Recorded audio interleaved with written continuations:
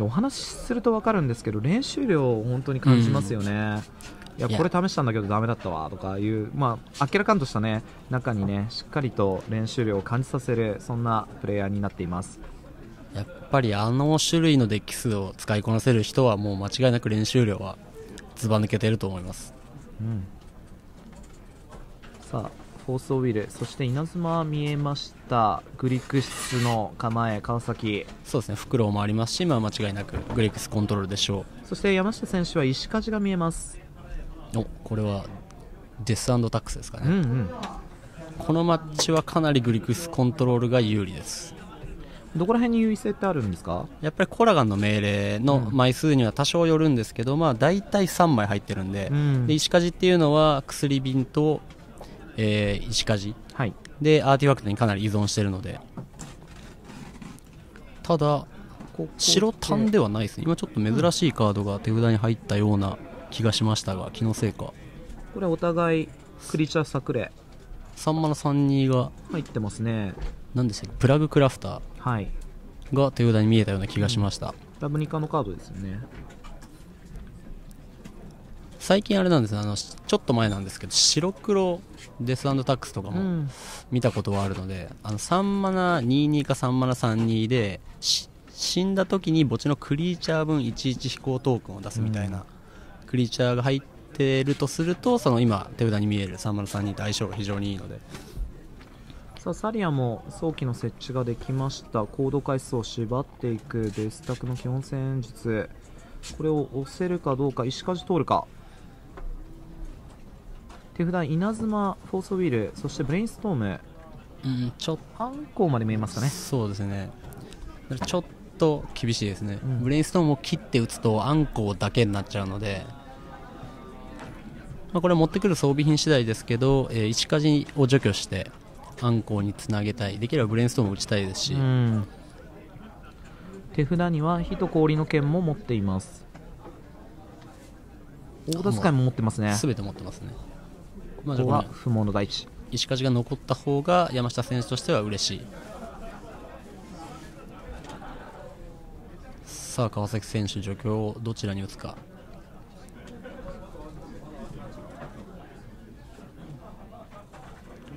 ブレインから入る可能性もある、うん。さあディアボリックエディクトお。悪魔の布告を手に入れました。あーただちょっとテンポは悪そうですね。うんサリアが邪魔になって次のターン2アクション取れないと。まあ、ちょっとねここブレインフェッチをしたかったのでというところはあるとは思うんですが。あれなんですよ。追加の除去を引かないとどっちを除去っていいか、追加の除去引かなかったら石梶みたいなはい。風に決めてたと思うんで、うん。なので先にドローから打ったんだと思うんですよね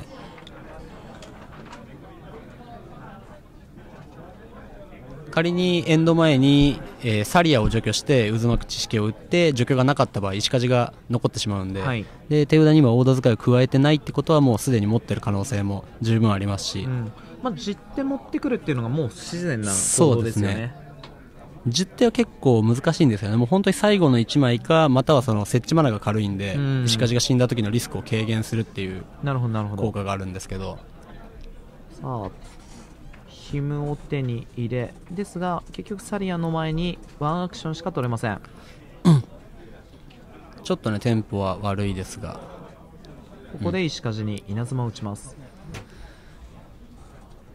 まあ、これで減速させておいて、次のターン、えーヒムなり、なんなりからアンコウにつなげて、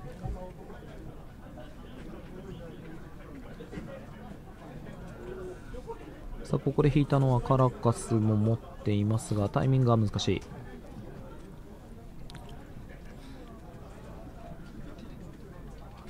さあ。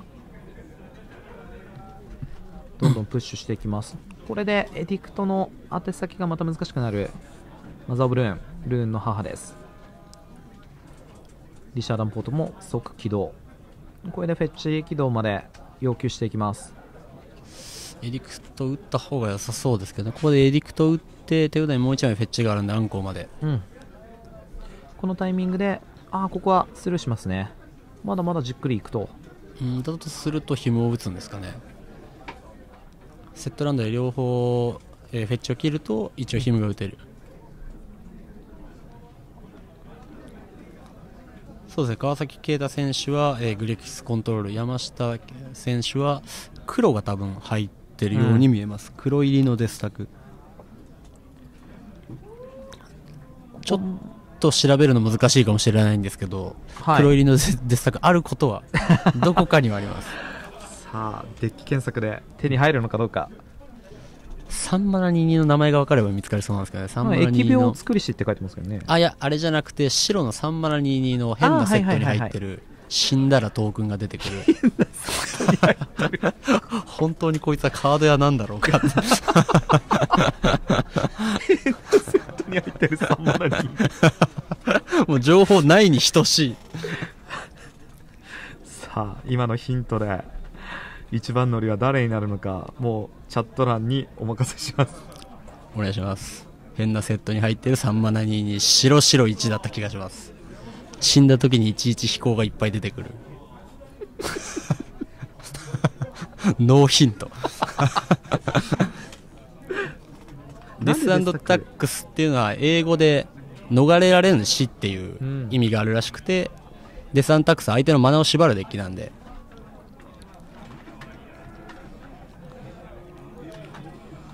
ねえ。ちょっとおもちゃ屋効果出てますね。昨日。あアンコウから。ここであんこ行くんですね。うーん。盤面を固めに行きましたここ難しいですね結構。うん。ちょっともうエディクトも待てば待つほど効果が落ちていきますし、まあ、はい。ここちょっと青いカード引いたんでウィルも構えてるのはあると思うんですけど、うん。うん、このターンは結構難しかったですね。僕はエディクトアンコウって動きそうでしたけど。もうウィルが構えるのやめてっていう形ですね。あのアップキープの時点リチャーダンポート起動された時点だとうん青いカードなくて、はい。ウィルは打てなかったんうで、ん。確かに確かに。で相手が、まあ、サリアを探ってくれたらそれはそれでこの後、次のターンから動きやすくなりますし。でマザー・オブ・ルーンも今アンコウを出す手前結構うざいんで。はいはい。さあここでプレッシャー追加。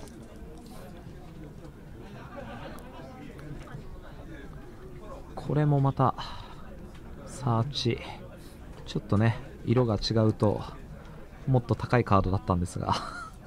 そうですね赤いやつが、赤赤いやつも再販されましたねそうですね。それでもまだまだ結構値が張るカードですが。さあここはフォースウィルで受けていきます。さあただブラフでもアンコウが殴るかどうか。引いてきたのはジェイスです。ただサリアがいるのででキャストもできない。うん。手札自体そろそろヒムの時間というところでここでランダム2枚ディスカードちょっとねまだまだ余力があるというか枚数が単純に多いんで、ちょっとねそう装備品が何枚落ちるかみたいな。そんな手札でもありましたからね。サピン。大田使いと疫病作りしこれが落ちていきます、ちょっと川崎選手としては今サリアがいることも含めて大田使いはあんまり嬉しくないですね、うん。まあ維持されると結局キープされるという。キャストはかなり遠いんで、6うん。普通にキャストすると6マナなんで。さあここで不毛の大地。ありがとうございます。神聖なる魂の守り手。あのあの僕のゴミみたいな情報でたどり着いたら皆さんは天才ですけどね本当結に構早い段階であ言ってる人いました？いましたね。本当ですか？さあアンコを総プロして攻めを継続うん。いやこれいいですね。ちゃんとマナも縛りながらサリアはしっかりカラカスとマザーで守りながら赤マナも消滅。こうなるとサリアがやはり処理できない。エディクトの打つタイミングにも全てルーンの母が効いています。メインボードに関してはちょっとマザー・オブ・ルーンも触れるカード紹介が1回解けちゃうと触れるカードが少ないんでこっから盤面を返していくのはなかなか難しいですね。33に失礼しました。そもそも誤情報だったいや332かもってちょっと言った気もしなくもないですけど。はいはい。ああ厳しいですね。フェッチもない。うん。このブレインストームが苦しい。知識となりました。からマナも縛られていきますので。おー強い。取りますね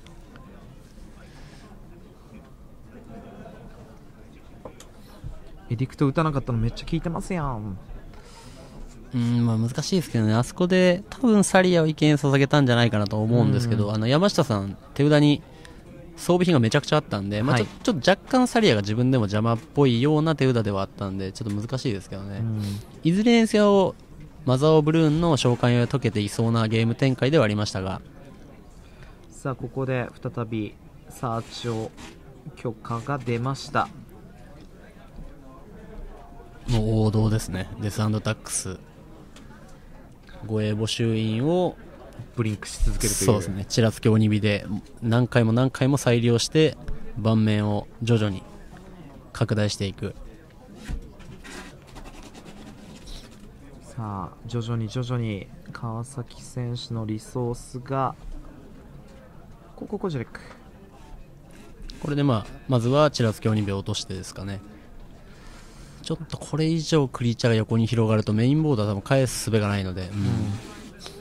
ただこれ実手安定着地が見えてきましたね。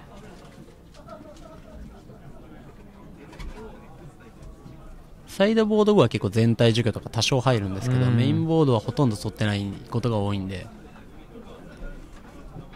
ここは継続してマナ縛った方がいいかちょっと考えます。引いたカード次第ですおおおおっとこの赤青剣が。この剣ももうほぼ1回通り始めるとほとんどゲームオーバーですね。まあ、2位のところに2点。そしてワンドロー。あクリーチャーに2点か。あいや好きなとこです。そうですよね。好きなとこに2点で、うん。えーカードが1枚引けるようになる、いやもうラス穴でも無理ですねサイド後のあの毒の濁流とかそういう系のカードがないと、うん。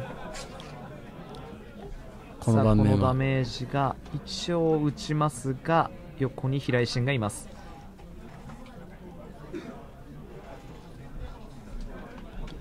そうですね。メインは多分そういったカードを全体除去みたいなカード入ってないと思います。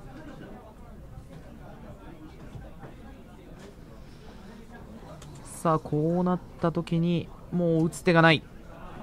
まずはメイン戦デスタックス。山下選手が勝利です。ちょっとヒムもねうまく避けた印象でしたね。うんそうですね、まあ、ちょっと本来打ちたいタイミングではなかったというか、うん。もう手札5枚もある状態で盤面も押されてたんで、うん。どっちかっていうとああいう時はまず盤面をさばいてから紐につなげたいんでもう紐を打ってる時点で他にあんまりすることがないという、うんまあ、デッキ的にもヒムそこまで苦じゃないですかね。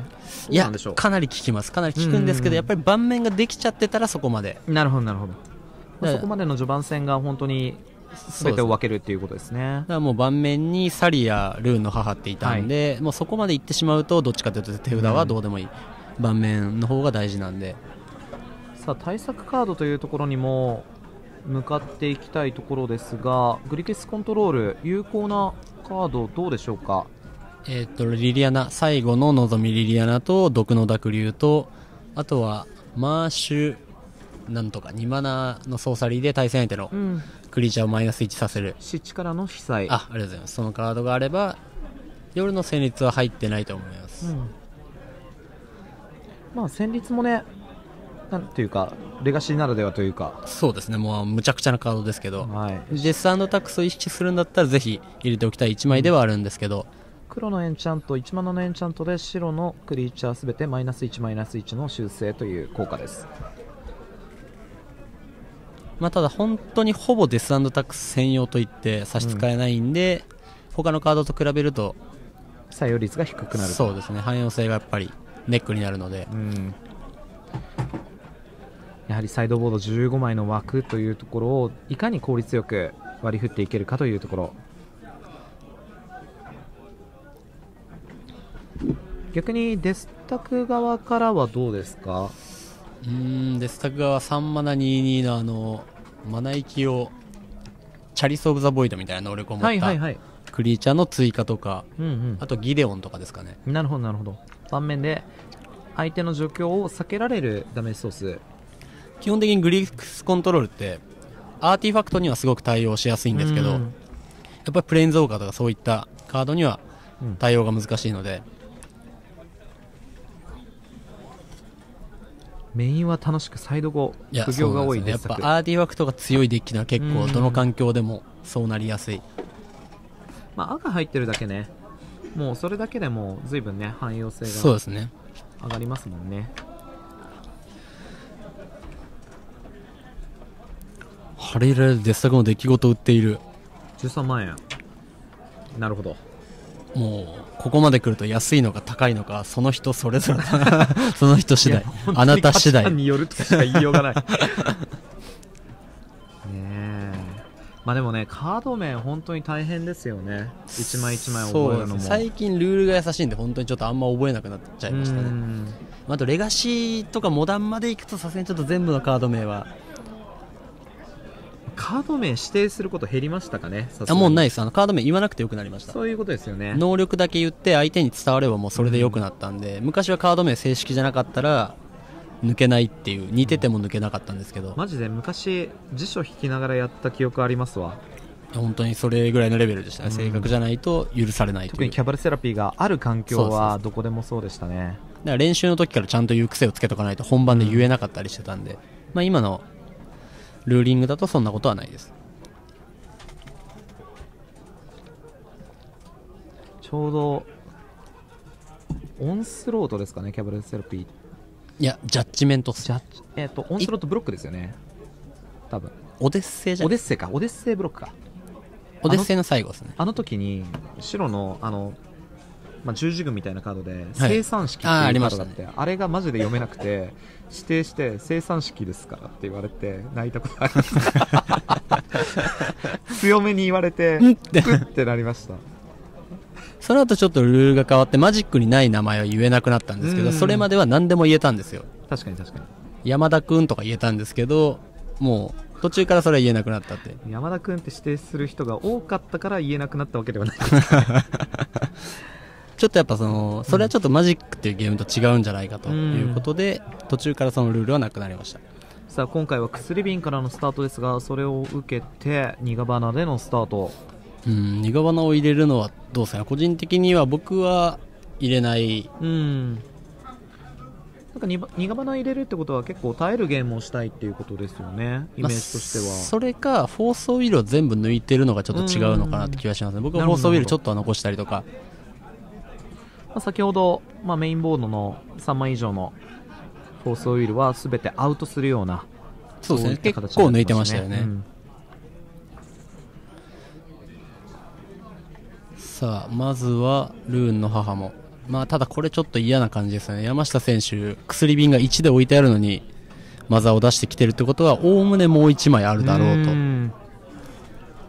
なんか誘うマザー・オブ・ルーンでしたね。メインで動いてくれとうんそうです。ねまああの薬瓶がある以上基本的に他に理由がなかったらその2枚目がある以外だったら出さないよねっていう。うんさあここで1起動します。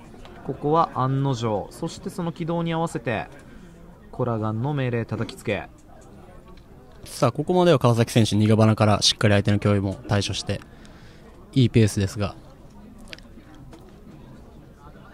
ニガバナのトークンは飛んでます黒の11の飛行のフェアリートークンとなっています、妖精ですからね。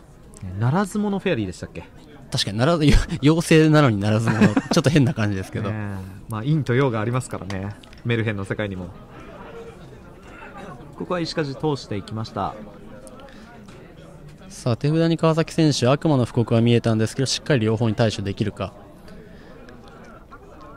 今回は山下選手装備があんまり手札にないのか結構悩んでますね、母は大丈夫。最後の状態を薬瓶は参照するんで破壊されたとしても。なので最後にカウンターが1個乗ってたんで1は出せます、基本的に大体クリーチャーを殺されたりとかな何かを参照するときは大体最後の状態を参照にするので、ね。クリーチャーのパワーを参照にしたりとか。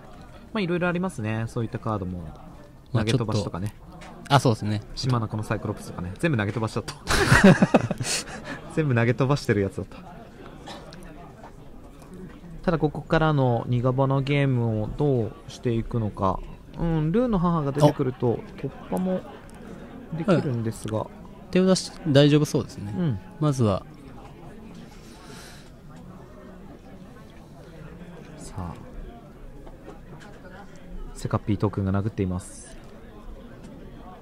これはけど川崎選手今細かいんですけど土地を置く前の方が良かったですね。うん。土地を置く前の方があのもう1枚状況があるか分かんないんですよ、はいはいはい、まあ、ちょっとグラフ逆もあるんですけど土地を置いたことによってもう1枚何かあるぞと思わせるっていうのもあるんですけど、うん。実際に持ってる場合は土地を置く前にやった方がうん。相手としては考えなきゃいけないことが多いんで、まあ相手がデスタクだからっていうところもあって、まあ、持ってる持ってないブラフをね先にいやあのルーンの母がいるんで、うん。今の状態でルーンの母が死んで石梶が残って稲妻ってできるとすごく違うんで。あけどあれか。エディクト解決前にルーンの母で石梶を守られるのが嫌だったのか。土地を置いとかないと,、稲妻が打ってなくなる。そうですね。プロテクションを先につけられるということですね。いやちょっと難しいですね。ううん。んまあ、確かにあの仮にルーンの母を生贄させるとしたら石梶に何色かのプロテクションをつけて死ぬので。うんいや難しいですね。まあ上等手段ですよね。まあ、一番裏目がないのは川崎さんのプランクうんうんあのルーンの母がプロテクションをつけて死ぬ場合は土地を置いとかないと、うん。1回は装備品を出されるタイミングを作ってしまうので。いやその辺はちょっと難しいですね、まあ、ただまあどっちが良かったってことですよね、うん。まあ、ルーンの母の方が場持ちは確かにいいのでそこの部分で起動しないこともあるし起動した時にどうなるかとかっていうところ。そうですね、まあ、実際どっちを探るかかなり難しいうん。局面でしたが、しかも公開情報じゃないので相手の手札の具合によってはルーンの母生贄に捧げる場合もあるっていうところをちょっとかん考えたって感じですよね。そうですね。さあしかしここでジェイス神。まあ、ただここまでは本当に川崎選手のペースですね、まあ、やっぱりあのコラガンの命令の強烈な2対1交換に始まり、あれ先行さんのためにあ起動できるのももうデスタクの動きとして、まあ、静着を踏んだからこそ薬瓶とルーンの母両方処理できたっていう。そうですね。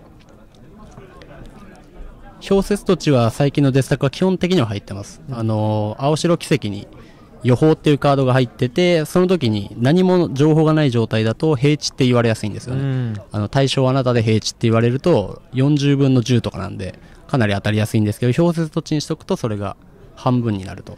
カード名を指定するそして2ドロー、まあ、カード1枚分をねその切り替えることで得ができる可能性があるということです。さあカーン通りました。カーンは渋いですうね、んここはどっちでもいいさあしかし。このウルザの後継カーンも本当によく見るカードになりましたね。いや強いですね。やっぱ無色で。スタンダードでもかなり活躍してるカードですけど。レガシーでもいろんなデッキに採用されてますね。赤プリズンだとか、うん。ここのデッキも一定のシナジーありそうですね。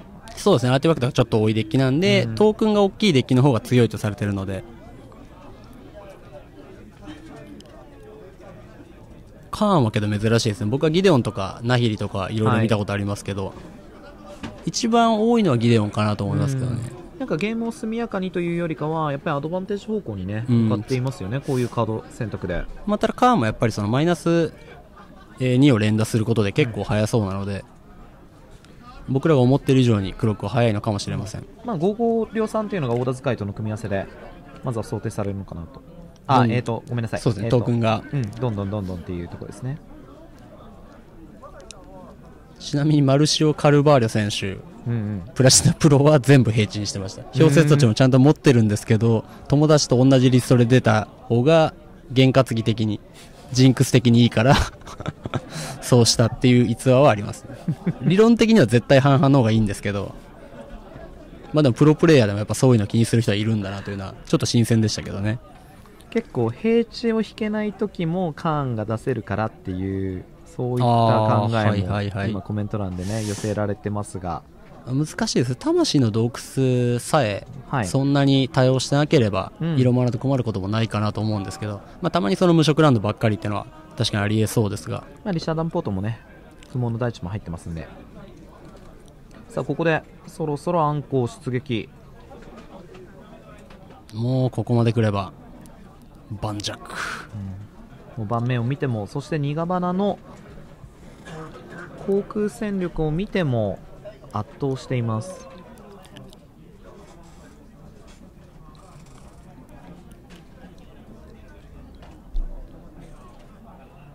さあここで。誰だこれは？どうだ？さあ画像解析班急げこれはちょっと僕は見たことがないぐらい最近のカードかもしれない。それかマジックオンラインにまだ入ってないかも。うんうんうん。さあ見ている見ている。ざわめいている。さあどうなる？さあ私も分かるまで。これはちょっとすいません。まだ見たことがない。さあ何かを取り除いている。わからねえ。これは見たことフェアリートークンどういう効果を取り除いているちょっともう一回もう一回能力を見せてください川崎選手も完全に見てますね。ケイの行動。ありがとうございます。カード名がようやくここで。さあ。いやこういう種ではないです。こういう種だったら見たらわかるんで本当に見たことがない。権威の行動。アーティファクト1つかエンチャント1つを対象キープ開始時に追放してコントロールなお互いになんか追放し合うようなそんなカードですかね。おありがとうございます。権威の行動。出ましたね。アーティファクト1つかエンチャント1つを対象する。あなたはそれを追放してもよい。はい。で次のアップキープの開始時にももう1枚追放ができてはいコントロール権がどんどん移っていく、この権威の行動の。ああなるほどなるほど。だからまずはあの確定のアーティファクトかエンチャントでもうやばい時にもう1枚追放できるよっていうカードですね。ああはいもう一回やると？次のアップキープの開始時にもう1枚追放してもいいよっていう。そしたら相手にコントロール権が移って、はいはいはいはい。でまたこうやってああすとごい。いうカードですね。だから1枚目だけは確定で除去できてまあ希望であればもう一回できると、うん。いやーいいですね統率者これは2013らしいです。13? はい。マジックオンラインあるかなこれ。マジックオンラインたまにないカードあるんですけど。いやごめんなさい。これはちょっとマジックオンラインにあるとしたら買っておきたい。うん。なるほど。ブリンクで悪さができる。ああなるほど。もう一回消しあはいはい場はいはい。に置いておけるのでそういった効果があると。なるほど。だからもう一回壊して追放して相手に移った後にブリンクすると自分のコントロールで帰ってきて、うん。もう何も損することなくはいはいはいいいですねすみませんこのカードは知ら知りませんでした。いや本当にマジックオンラインに存在しないのではないかと 見たことがないのはおかしい。もうかたくなに存在しない説を押していく。さすがにちょっと飛んでしまいましたけど盤面はあれから紆余曲折だったんですけど川崎選手がうん。もうほとんどリードしたまま。ニガバナ自体はこの権威の行動で破そうですね壊されたんですけどもそ,、こまでに至るまでのこのフェアリーならず者トークンの量が物量差として単純に影響が出ています。もう川崎選手カーンも即座にしっかり対処できましたし、ここがブリンクでそして剣をつけてこれが通るか？い、や川崎選手手札は最強の1枚に見えましたね。さあここで打つか。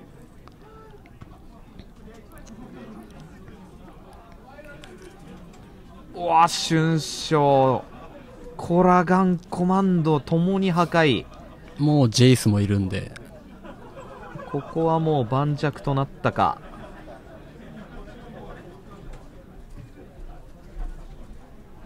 さあヒムを打って。もう完勝ですね。盤面に何も残さない。さあそしてここはデッキトップを見に行きます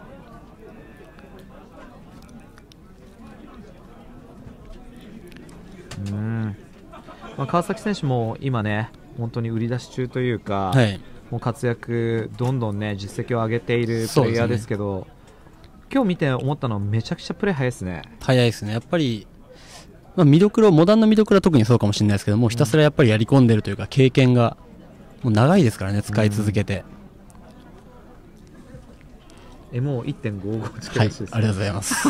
いつからあったんだろうな？昔からあったのかな？2013だからだいぶあるじゃないですか。あいやあいやわかんない。そそんなにすぐリリースされてそっかそっか MO ってあれなんですよ。本当に全部出るとは限らないんで、うん。たまにあの本当にもう全然入ってないカードとかあるんですよね。リアルではあるんですけど、うん。エモにはないカードっていうのは存在はするので。ネメシスがあるからこのカードがあるとかそういうのではないんですよなるほどなるほど。よくわかんないんですけど。はいはい、なぜなぜ入れてくれないのかっていうカードもたくさんある、うん、先ほどの権威のコードねまあ本当に普通に大袋もねリムーブしておきましたしそうですね。結構このマッチアップ光るカードかもしれないですね。これによって苦花抜いたりとかもするんですかね？うーんどうですか？単純にちょっと苦花後手だときついかなって感じはしましたけど、うん。まあ、今も十分活躍してたんで、まあ、ウィルを抜き切る、えープランだとするともう他に入れるものは特にないし、うん。そのまま残りそうですね。さあケイのコードぜひね皆さんイラスト名前そしてテキストをね覚えてね。はいすいません僕も帰ったら買っときます。いやいいです。いいです。いや持ってないカードもがあるっていうのは僕はちょっと気になるタイプなんで、はい。もう気づいたらすぐ買います。これいいですね。また新たな発見ありましたねそうですね。いやこれはけど本当に出されたこともないですし。うん。なかなか目にする機会がない効果でもありますよね。そうですね珍しいですね、これがデッキにサイドボサイドインされにくいっていうところもありますかね。いやこれ本当にデッキリストでも見たことないと思いますね本当、はいさあでもお高いんでしょうといういやいやいやお話来てますがハレルヤではなんと大特価。なんと。350円。おおお手軽価格でございます。安い。こんな調子でいいんですかね。自分たちが。ちょっとあの通販的なやつが欲しいなと思いましたね権威の行動を知らなかったばっかりに いろんな角度からごまかしが入るという。ね。は日本語のみ在庫現在19語版は枚売り切れてましたが。さあぜひとも皆さん急いでお買い求めください。19枚ということは現在の視聴者からいくとあっという間に売れ切れる3段までついております。そうなんですね。たまにあるんですよね。その入ってないカード。まああの権威のコードはあったんですけど、僕は単純に無知だっただけということが判明しましたがたまにね入ってないカードは存在するのは存在します、宣伝から価格情報まで米頼みとかそうです。ねそこは僕いつまでたっても成長してないですね。いやでも別にねそこは適材適所っていう話もありますからね。そこはカード屋として適しておいてほしかったところだけどいやまあ、まあ、そのカードゲームのではのカードゲーム屋さんで働いていても、はい。やっぱりね分かること分からないことね携わってること携わってないことありますから。ありがとうございます。はい。大丈夫ですよ。はい 携わってるよりな気もしますけど。そうですね。あねこれを機にねケイのコードの値段皆さんでね価格操作していただいてなんとか4桁までよろしくおこういう系の願いいたしますカードけど本当に使われるようになるとやっぱり供給が追いつかなくなるんで、一気に入りますよね。そうですね。さあ先ほどもいい仕事をしたというところも見えていますユリコもつい最近まで先月今月か今月の頭ぐらいまでなかったんですよね、入った瞬間に買いましたけど。ユリコも昨日かな？昨日あ今朝今朝か。今朝。やって3勝2敗でした。ユリコデッキも。残念。今朝今朝やってでもう僕今日全部3勝2敗って聞いてるから分かんない。成績。一応報告しとこうかな。はいさあ11になりましたこのグリクイスコントロールとそしてデサンタックスの対戦。残り時間13分ということでここもなるべく早期決着をお互い狙いたいところです。まあ、2人ともプレーは非常に早いので、うん。ちゃんと時間通りに終わるんじゃないかなと思いますが。さあどちらが悩んでるんでしょうか。お互いキープ。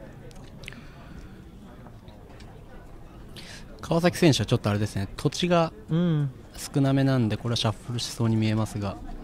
現状、うん、コジレックの審問だけ欲しいかぐらいなそんなところかもしれませんがそもそもランドがない。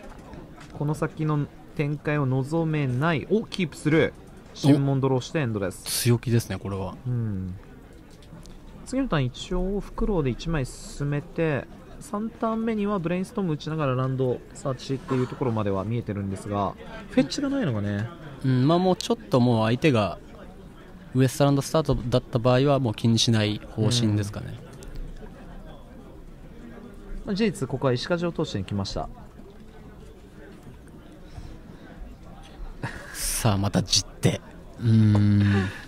さあ一氷の剣。大田使いここら辺がちらつくそんなサーチになっています。あけど今回あれですね山下選手の手札的に単純に土地がない。うん。なので石梶が死んだ時に多分一番リスクが少ない。プレイしやすいカードをキープしました。さあここでアグレッシブにブレインストーム。ランドにはたどり着く。最後の1枚がフェッチでしたね。沼。あそして血染めのぬから海と引いています。まあただもう今のでしっかり土地も全部引き込めたんで、もう手札に事実上いらないスペルもそんなにない状態になりましたけどね対戦相手もこの土地の置き方、まあ、ちょっとウエストランドはまだギリギリありえますけどはい。ここら辺からプレーは難しいですね、まあ、確かにアンコが一番。多分このターンコジレックの新門を打って次のターンヒムみたいなゲーム展開になると思うので。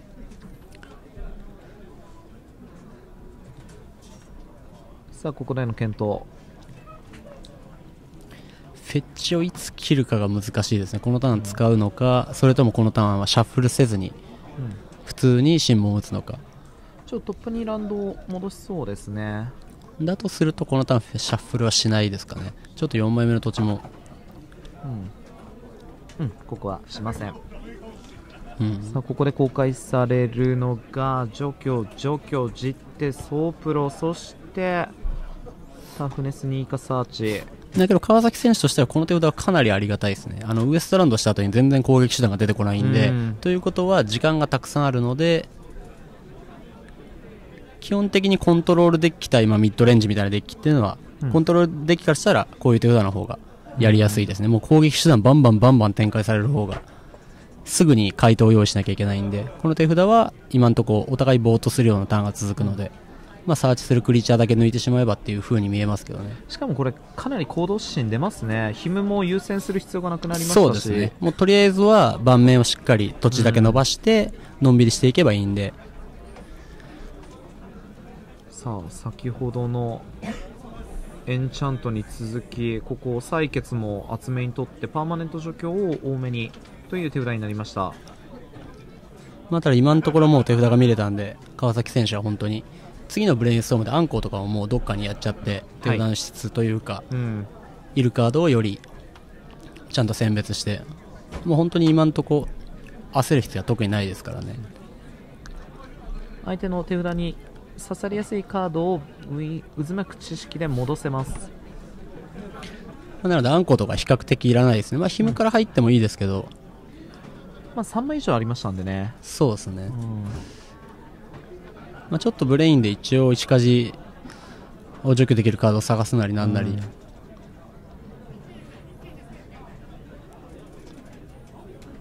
さあここでまずはブレインストームから動く。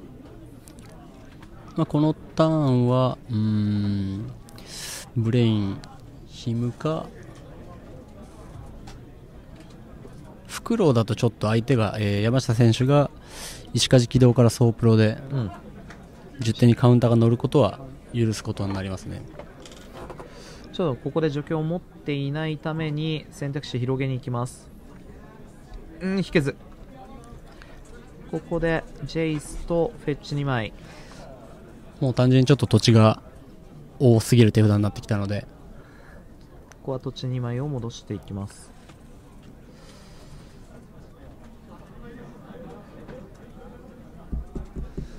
ちょっと苦しくなってきましたかね。うん。まあまだ。まあでもそうかウエストランドもあるとか。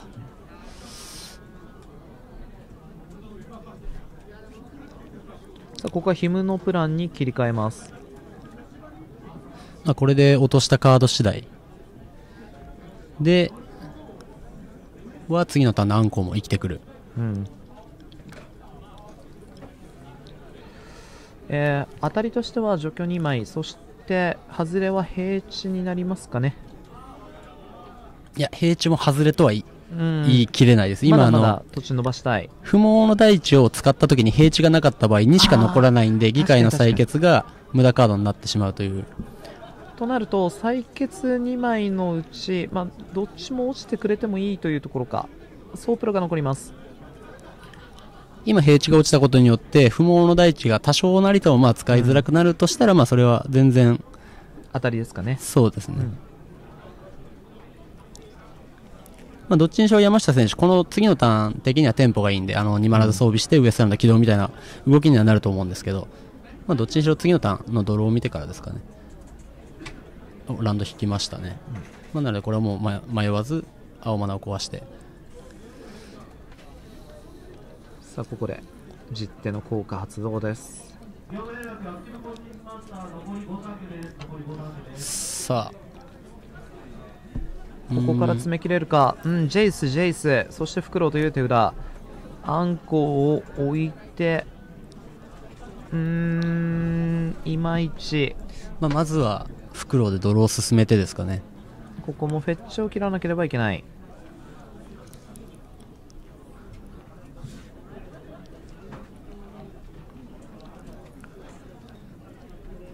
しばらくは10手も、うん。もうちょっと時間がかかるのでこのターンあんこを袋ってやって、えー、剣を好きにでライフももらいつつ、うん。クリーチャーがとりあえず2匹になるまでに神ジェイスを出すか除去が引ければ。そうすれば実手を無効化できるという。ああなるほどなるほど。これで除去を落としてこれでもう絶対に除去を2枚1枚は枯らせる。そして対応しないというところでソープロを残します。これだと島が引けるとかなり有利になれそうな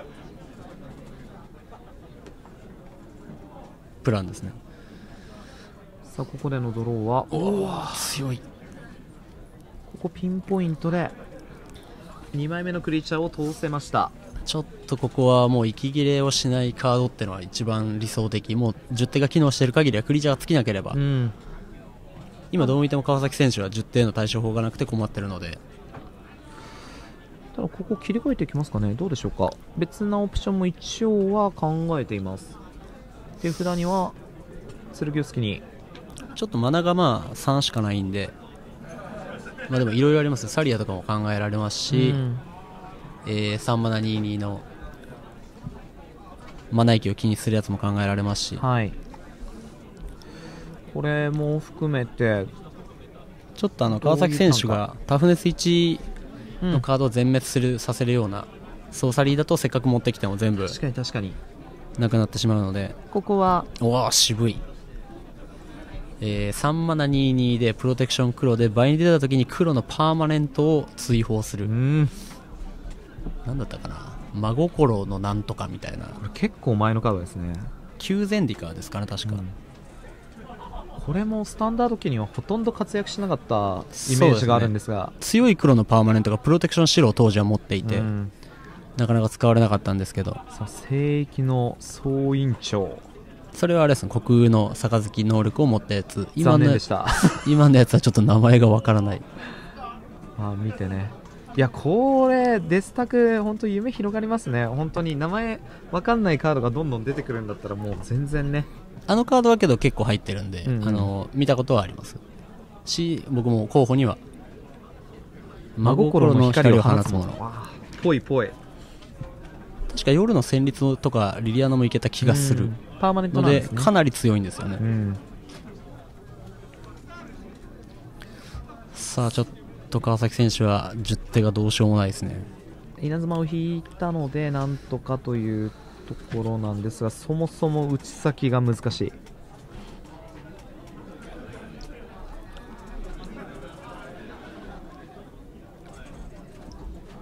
まあ、このままだと山下選手は10手の力を生かして袋をどかしつつ。裂け目翼の雲間を泳ぐものは5コスにあ5マナ22の青のうん。バウンスのマンタちゃんですん？裂け目翼の雲間を泳ぐああ懐かしいですね。僕は待機めっちゃしてましたけど。ねえ。それこそタイムスパイラルの。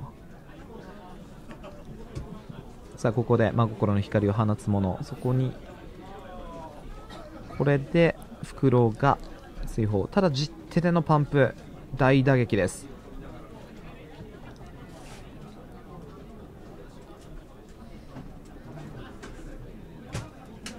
こいつもプロテクション黒あるんでちょっと現状の川崎選手の手札だとなかなか。うん。これアンコでのストップというところも狙いたかったんですがもうジェイスを起動。まあそうですねシャッフルし、えーブレインストームして。そうですね後遺症入ってる方が珍しいと思います、うん。今は。基本的には入ってない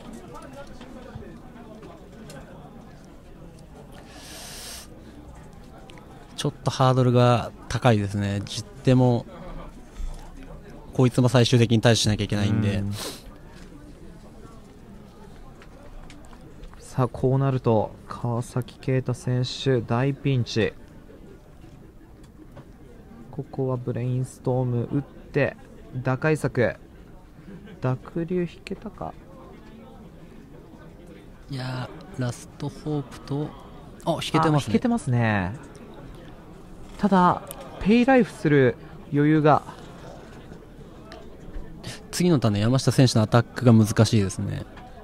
これタイライフ自体はもう削りきれないんですよ。8絶妙に1残る、うん。でジェイスを無視することもおそらくできないので、うん。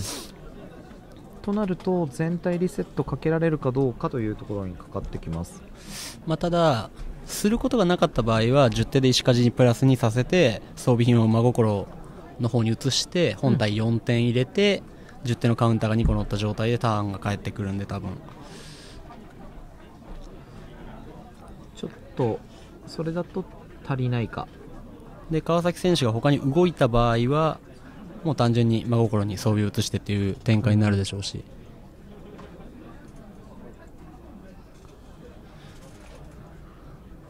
さあそのプレーを選択しそうです。まあ、ただジェイスにどっちが殴るかは、まあ、でも、うん、そうですね、素直にいきましたね。ちょっとフェイタルプッシュ、致命的な非投資があった時だけ若干損するんですが、まあここでねフェチ切らせるんだったら問題ないという判断でしょうか。うん。いやーこれで毒の濁流でも届かない。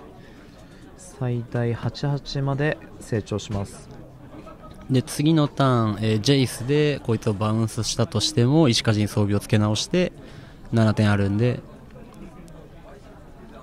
さあこれは積みか。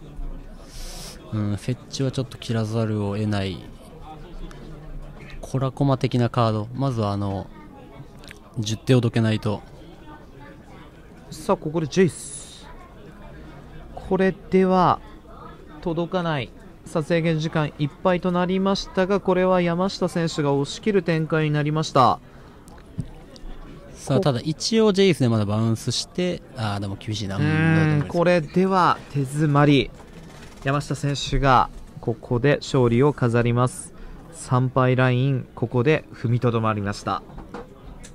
うん難しかったですね。序盤の紐をどこで打つかとかも結構難しかったですうね、ん3ターン目のアクションがすごい難しかったんです手札がブレインストームと2マナ2マナはい。ジェイスみたいな感じだったと思うんですけど、まあ、あの反動を見る限りではちょっとゆっくりできるのかなっていうところもあったんですけども、手が想像以上に効いちゃいましたね。あそこまでクリーチャーも10手も触れないっていうのは、ドローもかなり打ってたんで